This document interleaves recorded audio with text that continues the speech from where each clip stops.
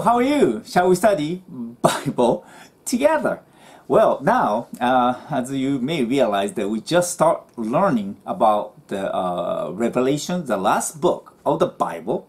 And I think the Revelation is a really uh, important, very important book. It is the last book, last book the Bible, and uh, um, also it's a key to understand the entire mystery about the Bible. Now, uh, so today we're going to learn from Revelation chapter 2, verse 1 to 7. The title is uh, A Church Lost the First Love. Now, before I study, uh, before I start a message, uh, shall we pray? Father in heaven, please teach us your word. Thank you. Just pray. Amen. All right. Well, as I said, uh, now we're learning at the Revelation. But when I think about entire Bible, the Bible is a very, very, I would say, amazing and very interesting book. Now, uh, what the Bible revealed to us is that, first of all, the Bible telling us there is the God who is creator. And uh, he is he has created everything. And according to the bible he create well his kingdom or his world perfect. And in his kingdom well i would say his world he uh, also create a, a man and uh, was supposed to uh, the man live together with god and the relationship with the man and god is bounded by love we're, we're, we're fellowship uh, God with love. So God loves us so much, and we uh, loves Him so much, and so that it, it was almost like a God's plan to have a wonderful family uh, type uh, relationship, and then that, that's where we're supposed to live in His kingdom or His world. But God uh, put a tree in the midst of His uh, kingdom, and um, He told men that if you eat from this tree, you will surely die. Why he put that tree? he didn't have to, don't you think? But he did. But sure enough, uh, you know, man, the first man, Adam, uh, took that uh, fruits from the tree. I mean, if someone told me, if you eat this, you're gonna die, man, I would probably think twice, or maybe I'm not gonna eat it. You know, I mean, if, if somebody told you you're gonna die eating this, you know, uh, but you know, sure enough, the uh, we, I mean, uh, the man, the first man ate that. Uh, first of all, why God put that tree up in there? Um, well, I guess God tests us, and um, to see if we really continue to love Him, or mostly He tests us that we do believe His word or not, um, and then chose Him to live with, you know, chose God uh, as our God. And um, now, so the entire Bible is really is how God going to regain us uh, to His kingdom. It's uh, uh He's really telling us how He's going to bring us back to His kingdom.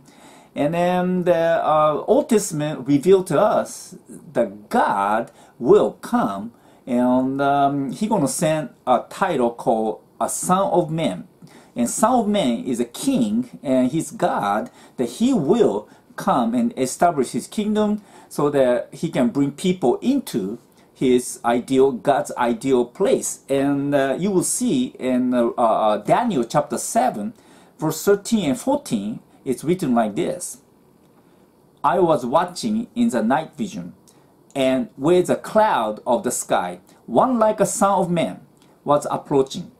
He went up to the ancient days and was escorted before him. To him was given ruling authority, honor, and sovereignty. All peoples, nations, and language groups were serving him. His authority is eternal and will not pass away. His kingdom will not be destroyed. That's a very interesting statement. Now, the, the title, Son of Man, is really given to Jesus, and uh, he's the one, the king of all the nations. He's not the king only for Israel, but he's also king of entire, entire people, all the nations, all the language groups. So that the title, Son of Man, Son of Man, means is a king, is coming king, Messiah.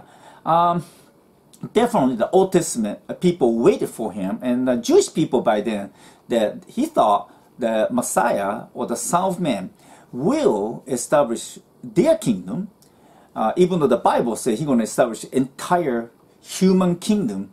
And uh, but nevertheless, uh, Jesus came and uh, he claimed himself, "I am the Son of Man." And um, uh, he told people, "Now the kingdom of God is not come near because I'm here. He, I'm a king." Uh, now he was supposed to let the people into his kingdom, but it's not easy because if God allow people to get into God's kingdom, God have to uh, forgive their sin. Uh, you know, the, the people uh, continue do the lots evil, evil, bad things. See, God is so righteous, righteous God. He cannot forgive uh, evil thing. He cannot say, oh, the evil things, that nothing. He cannot erase it. He cannot say, that's okay, you're a bad guy, but it's okay. You come. The person have to pay the price. Person have to really, uh, you know, be punished by doing bad. He had to pay uh, a penalty of his sin. And uh, what God did was that the, the, the, this king, in order to in order for God to forgive the people's sin, that uh, this king paid everything he had to pay off the debt that we had. He he even uh, uh, uh, you know lost his glory as a deity, and he came to earth, and he even lost his entire body and blood. He gave everything. He became penniless. Uh, he just gave more than penniless. He just gave all total himself to pay and purchase us. And his blood, uh, Jesus' blood, purchased entire, entire human beings' sin being forgiven. And Jesus said, now I paid, guys, I paid every human's um, sin. So all you have to do is come to me. And the question is, the people who believed his word or not. Now is good news. This is a time everyone who will come to Jesus, the person's sin will be forgiven. This is a great because he paid for you. Uh, this simple truth that unfortunately some people accept and some people won't. So people who do not believe in his word or his invitation that his word will judge them at the end.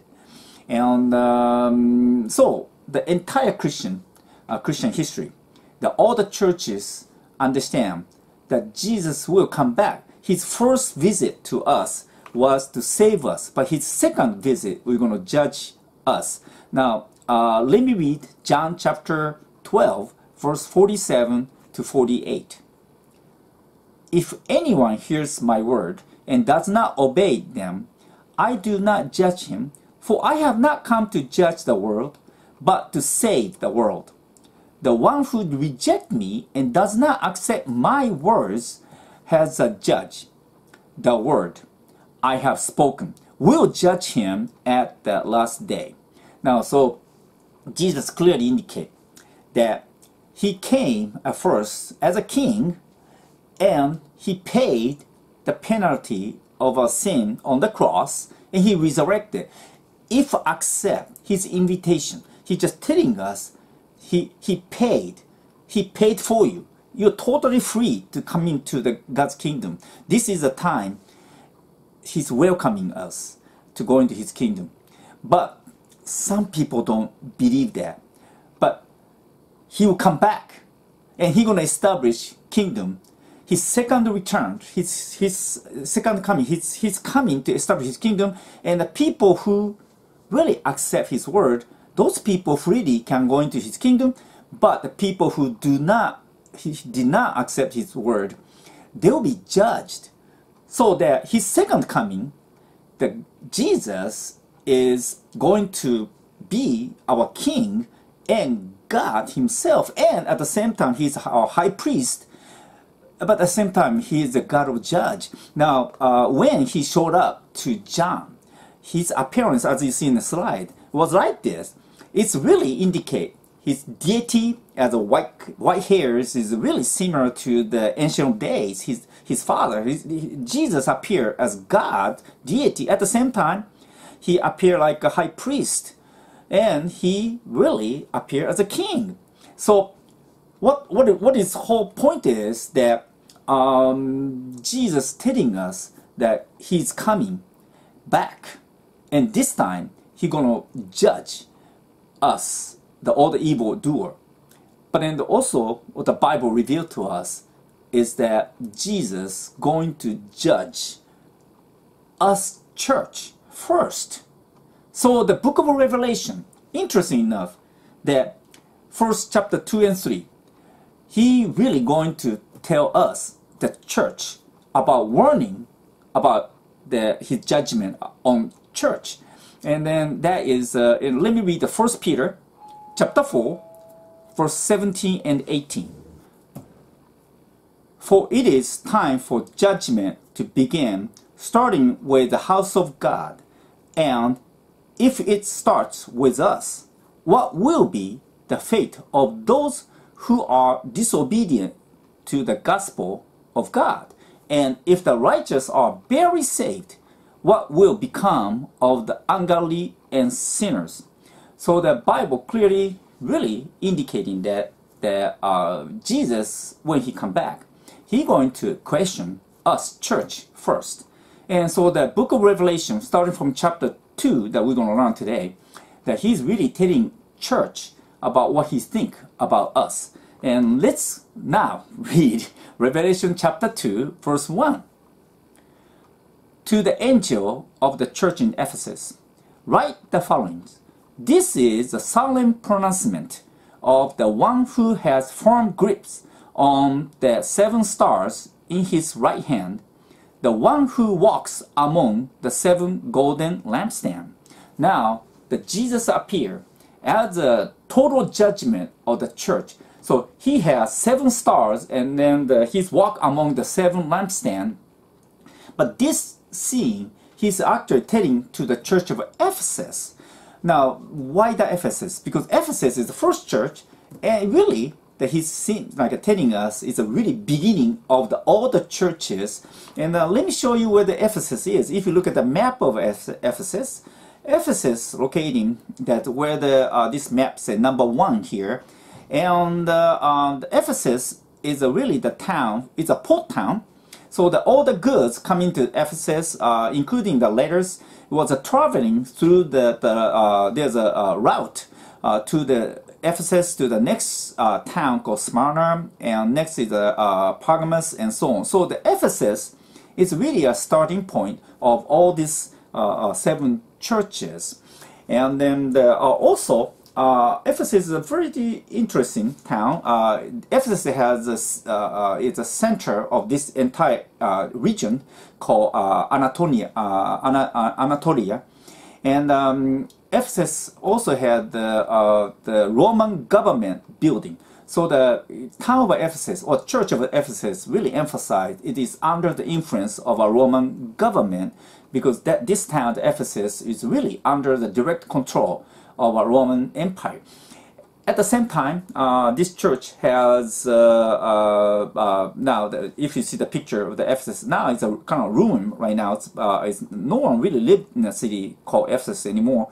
But then uh, this town also had the big temple of Artemis, and now this temple of Artemis, it's a Artemis is actually a goddess. it's a it's a female god and then it looks like this. Now, if you see uh, this picture, this is a very, very strange uh, statue because this female has lots, lots, uh, you know, breasts. I mean, uh, the booty. I mean, I mean, well, so because the Artemis is a goddess, this is supposed to be she. Why, why she have so many, uh, you know, things and uh, she has so many uh, booths because Artemis is a fertility uh, uh, God. She, she, she, she, she brings lots of baby. She's actually the god, goddess of pregnancy, kind of, and she gave birth easy and uh, uh, uh, fertility, uh, fertile, fertile. She's the one going to bring the, all the fertile land, and um, also people start to believe that uh, she's the one going to give the birth and the life, and she's really the uh, the source of the life and that is kind of a belief they have. So the Ephesus is a very, uh, uh, uh, you know, big city, and it is the starting of the church. And also uh, that we can say this is a city is a very much uh, how I say Gentile city. Now, verse two and three, uh, the Jesus actually gave a you know comment, the, give the good comment about this church about the verse two and three. Let me read that. I know your works, as well as your labor and steadfast endurance, and that you cannot tolerate evil. You have even put to the test those who refer to them, themselves as apostle but are not, and have discovered that they are false. I am also aware that you have persisted steadfastly endure much for the sake of my name and have not grown weary. Now, very interesting. The Jesus really told them that you did a very good job by finding the false apostle. Uh, the Jesus said, "I know everything about you guys. I'm watching you guys." See, God, He knows everything. Jesus knows everything, but we have to understand he is our king. At the same time, he is our judge. See, everything we do at the church or whatever, you know, he knows it.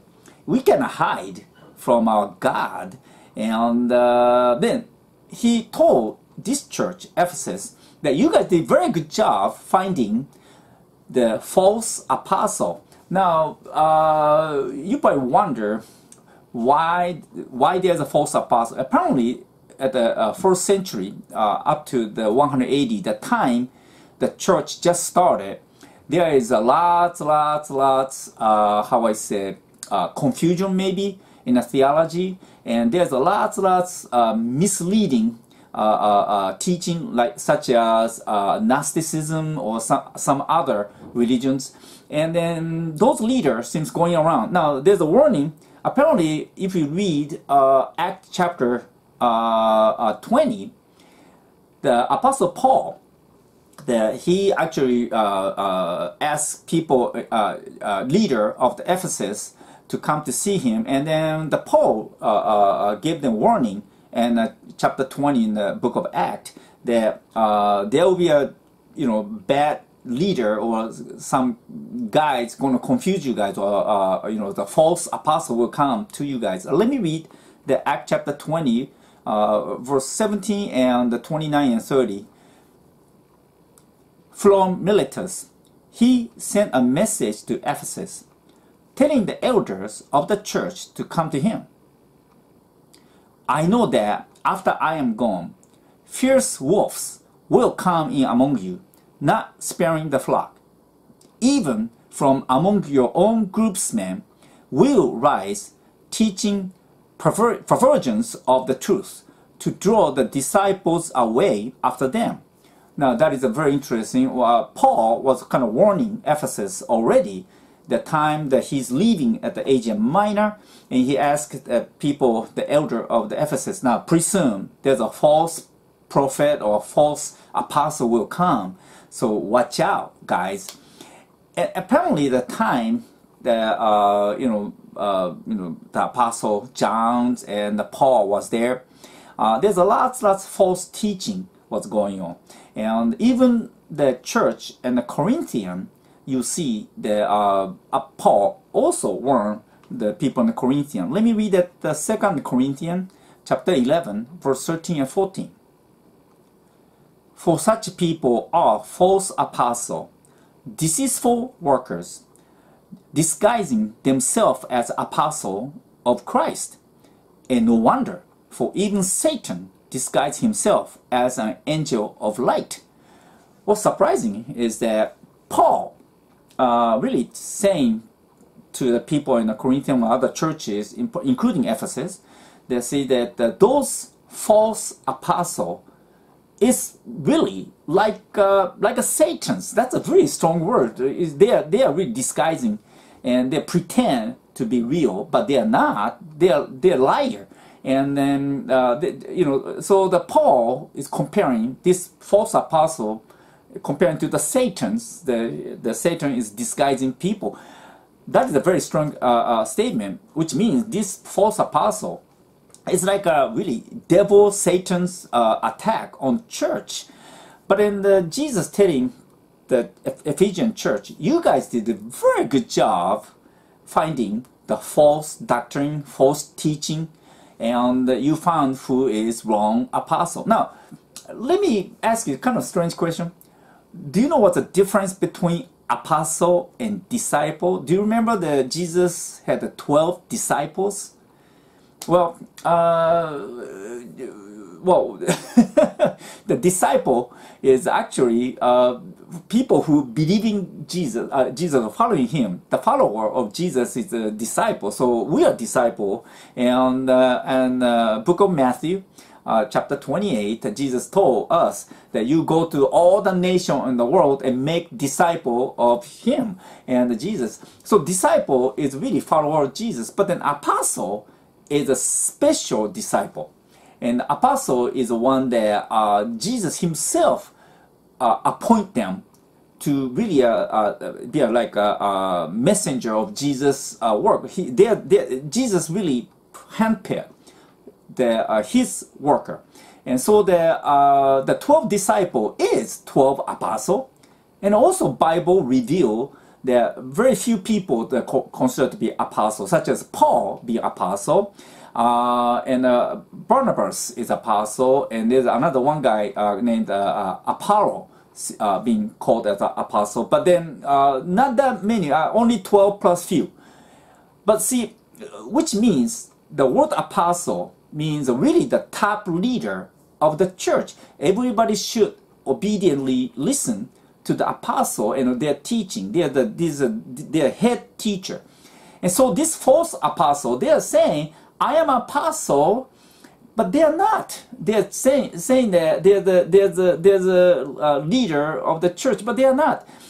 This kind of remind me, I guess, in our modern day, we have to be careful because some uh, church leader, even though some person or some minister they may not have the uh, proper the, uh, theological training, such as uh, you know, well, usually to be a pastor or minister of the church, uh, usually people go to the well-known, uh, well-established seminary uh, to study the theology. but you know, some church maybe, but some person, he or she may possibly self-claim to be a minister or pastor and that's a disguise, really, and teaching not Christianity or some other wrong doctrine, pretend to be Christianity. And that is a really satanic uh, uh, work. And that is really, we see that is all the cult religions uh, the pretend to be church. Uh, they, they apparently not. And uh, so either way, the, this Ephesian church did very good job finding these false uh, doctrines and the false apostle. So Jesus really uh, commented them. Jesus really said, you, you guys doing very good job. And, however, the uh, verse 4, Jesus really uh, mocked them and tell them that they didn't do a good job. Uh, let me uh, uh, move on to verse 4. But I have this against you. You have departed from your first love. Wow, that's interesting. Jesus told them, you guys did very good job finding or kicking out the uh, false doctrines, but you really lost your first love. Now, what is the first love? The first love is really the first love towards to Jesus Himself. And uh, see, entire Christian doctrines, you know, the most important command is really to love God and love neighbor. And uh, Jesus is God and the man. So loving Jesus really fulfilled that we love God and that we love men.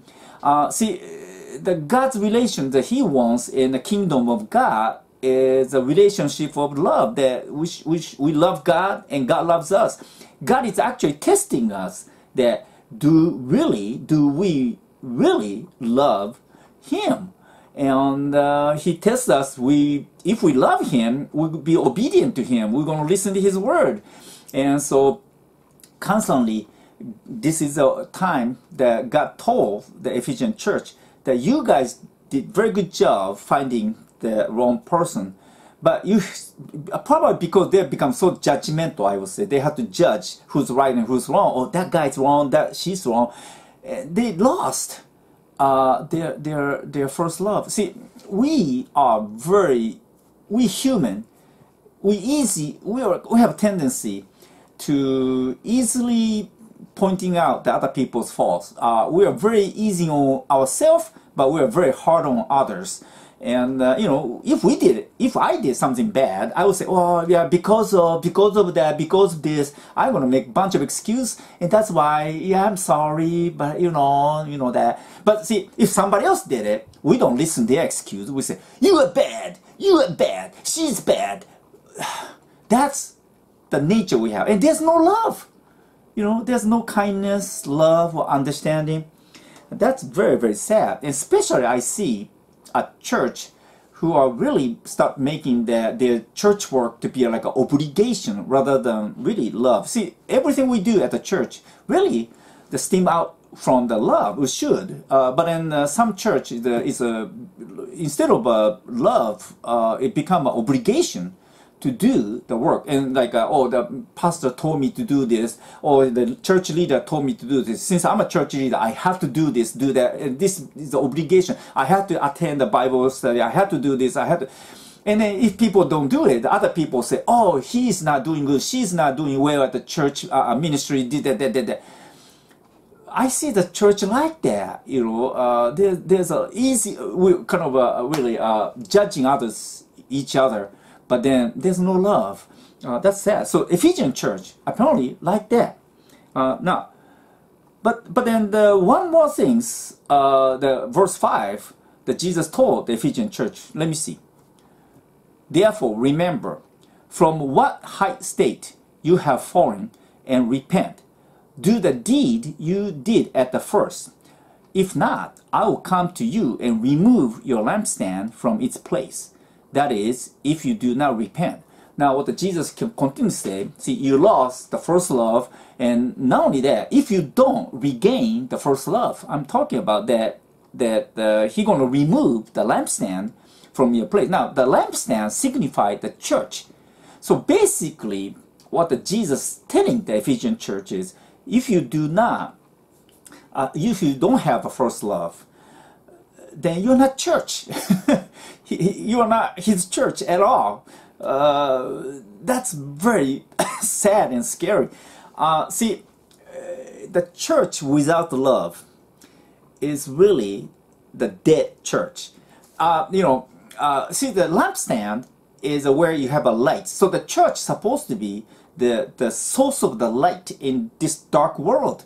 When people come to the church, this church is the only place they feel the kingdom of God, that they feel this is the place the people who are going to uh, kingdom of God, that they, they have a full taste of kingdom of God, the, the love, love and kindness with, uh, uh, first we have a love relationship with God, and uh, we love other member of the church, and so people start to feel that love in the church. But if the church do not have love, then that is not church. That see, I, I see the church without love or lost love. That church is not shining.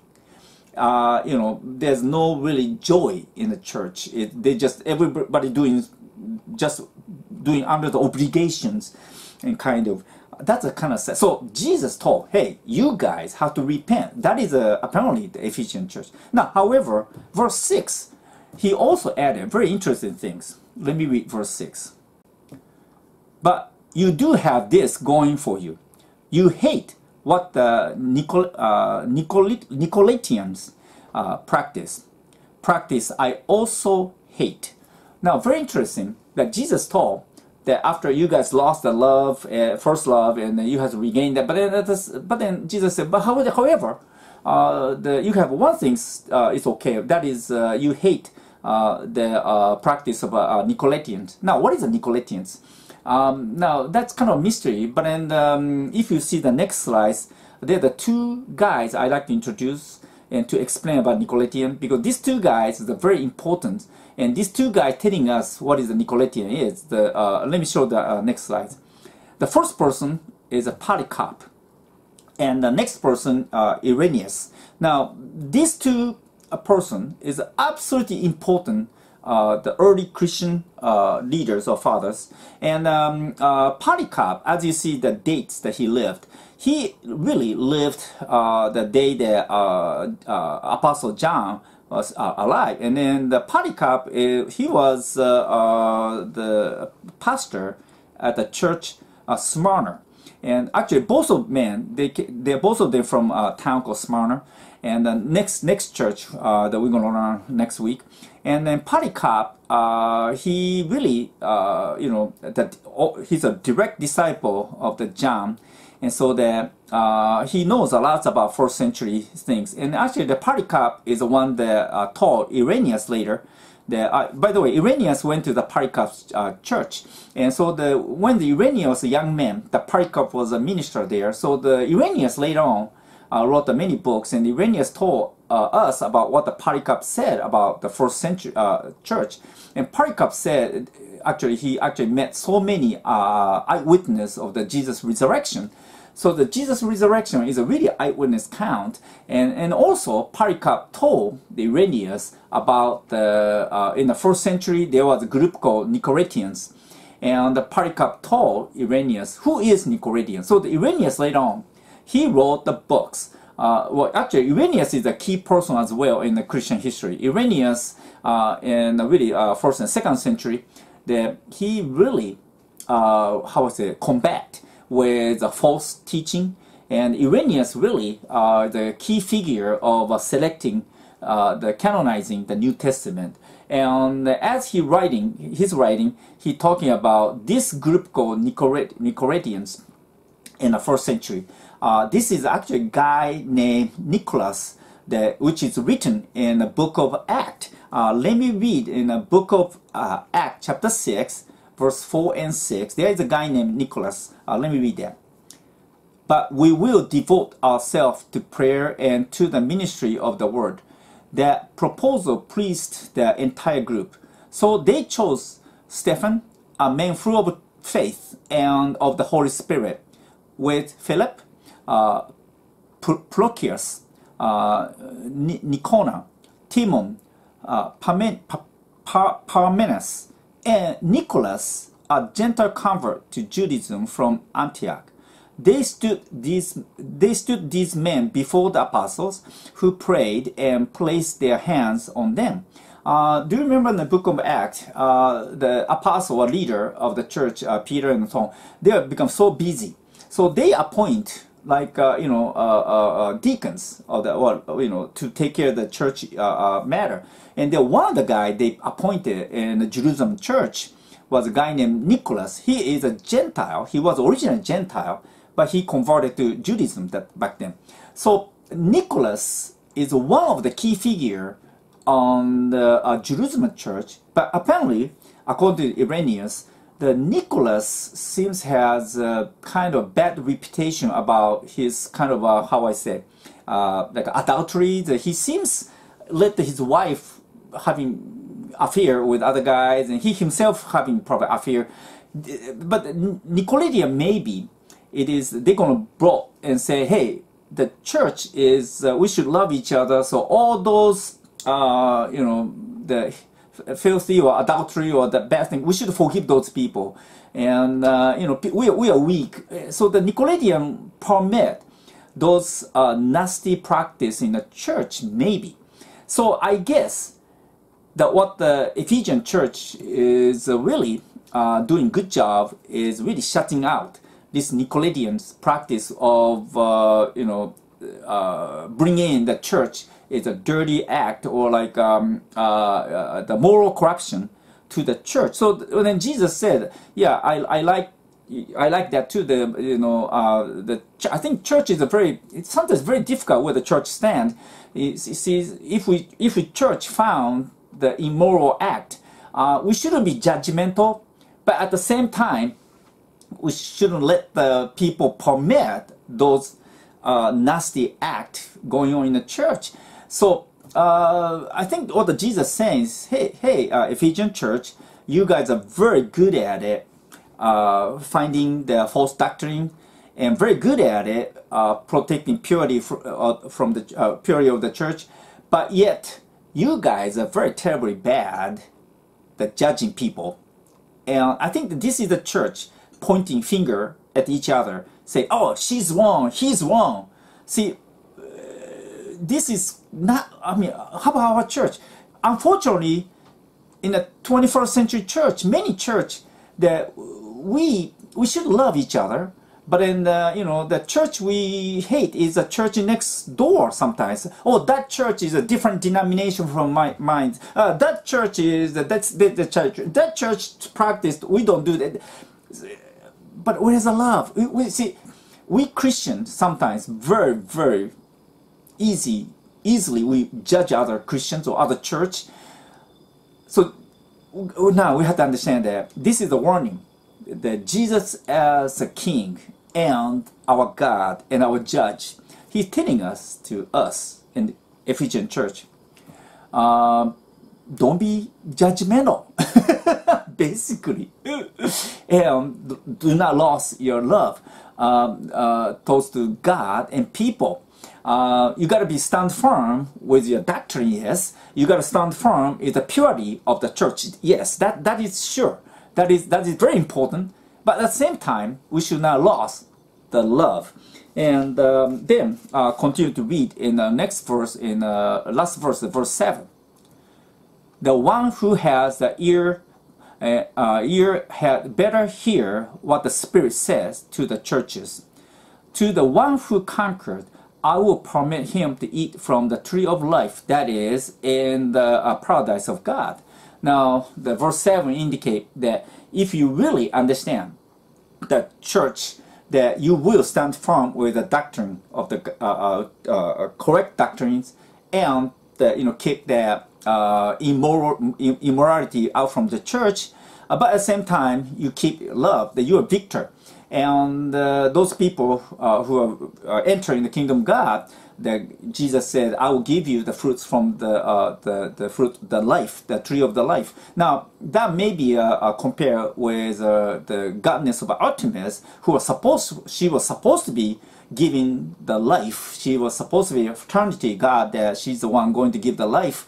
but then the true God is the one going to give the true life. She's a fake she's she's she's a fake a fake god, uh, even though she has a humongous temple. So maybe that was a true of a life being mentioned here, uh, or regaining uh, from the Genesis, the way we lost the paradise. That Jesus will come back as a king, and he will come back second time as a judge, and he judging the church first, and he warning us that hey, Ephesian church, you should not lose the first love, and that's where that he's uh, really uh, warning us. Ephesian church is a really pinnacle uh, uh or indication what is uh, what the first century church was like, and so the many churches now uh, like that in our century as well. So we got to be watch out.